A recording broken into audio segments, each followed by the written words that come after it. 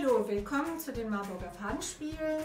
Fadenspiele, das sind Spiele mit diesen bunten Fäden, die ihr hier sehen könnt auf meinem Arm. Die gibt es in ganz vielen verschiedenen Farben. Entweder kann man die im Internet bestellen, einfach mal Fadenspiele googeln und shoppen oder halt eben im Baumarkt diese bunten Bänder kaufen, die kann man sich da abschneiden lassen. Erwachsene brauchen 1,90 Meter Länge, Kinder ungefähr 1,70 Meter Länge. Und dann werden die an dieser kleinen äh, Kante hier miteinander verbunden, entweder mit einem Heißkleber, äh, Heißklebepistole oder halt eben mit ein bisschen Anschmoren, wenn die Eltern das machen und zusammendrücken. Man kann natürlich auch eine Kordel nehmen, auch die müsste man dann miteinander verkleben. Hauptsache, das Band ist nicht dehnbar. So, es gibt aber, ihr kennt das von den Abnehmspielen, zwar haben wir immer so gemacht und dann kam eine zweite Person und hat die Fäden übernommen. Es gibt aber mit diesen Fäden auch ganz viele Spiele, die ihr alleine spielen könnt und die werde ich euch im Folgenden zeigen. Willkommen zu den Marburger Fadenspielen. Heute zeige ich euch die rennende Maus. Dazu nehme ich meinen Faden, dazu habe ich euch ja schon mal was erklärt. Diesen Faden lege ich jetzt über meine linke Hand, die ich zur Seite ausstrecke, über die Daumenkante. So liegt der Faden einmal auf der Vorderseite der Hand und einmal auf der Rückseite der Hand und hängt frei herunter.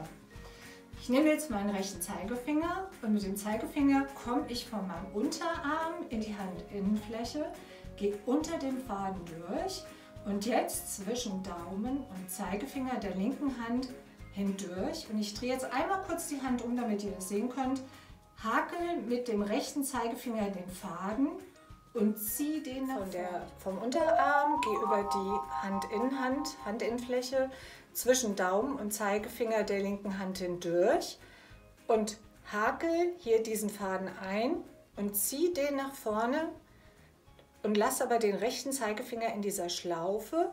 Jetzt mache ich eine Vierteldrehung nach rechts zu dem Zeigefinger der linken Hand hin und lege die Schlaufe über diesen Finger. Jetzt ziehe ich an beiden Seilen einmal, um diese Schlaufe einfach ein bisschen enger anzuziehen.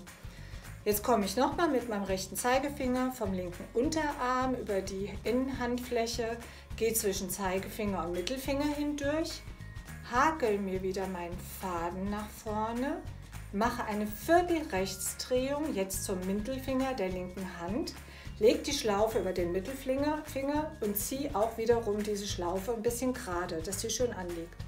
Jetzt komme ich noch einmal mit meinem rechten Zeigefinger über die Innenhandfläche, gehe zwischen Mittelfinger und Ringfinger hindurch, hole mir wieder meinen Faden, mache eine Vierteldrehung diesmal zum Ringfinger der linken Hand, ziehe meine Fäden wieder glatt.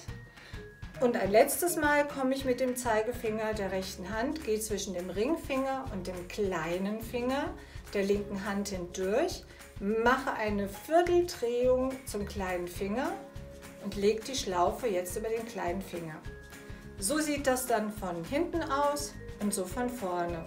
Jetzt nehme ich den Daumen aus der Schlaufe, lasse aber schön die Schlaufe da oben, weil das ist jetzt unser Mäuschen. Und wenn ich puste, erschreckt sich das Mäuschen und läuft davon. Und schon ist es weg.